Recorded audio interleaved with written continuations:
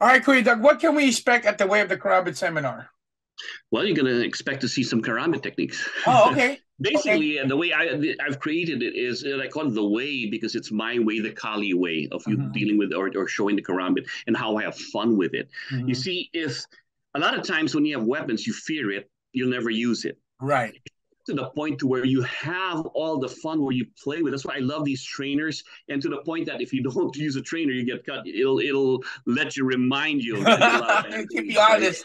But to me, it's an art form. I get into these zone moments when I just train. It's like any kind of martial art. You know, I love dynamic meditation. I get lost in actual motion rather than just staying still and breathing and focusing on that. I need to focus on action.